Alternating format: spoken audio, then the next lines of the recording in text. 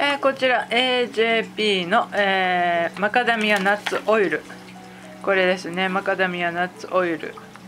えー、っと100%オーガニック素材のオイルらしいです。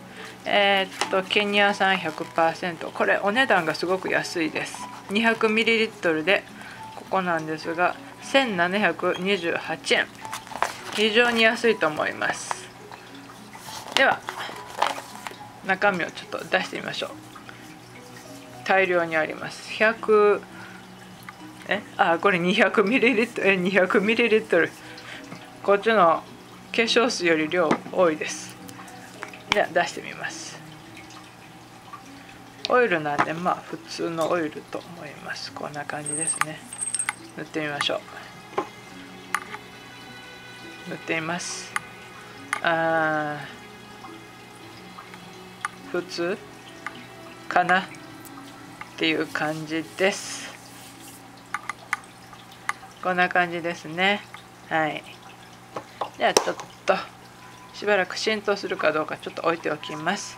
でこちらになります。200ml で。1728円なんで個人的には非常に良心的な価格と思います。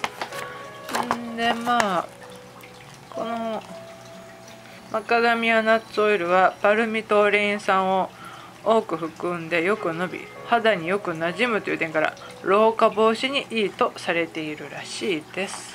うん。でまあ使い方はいろいろ使えます。マッサージオイル保湿オイルクレンジングオイルヘアケアオイル。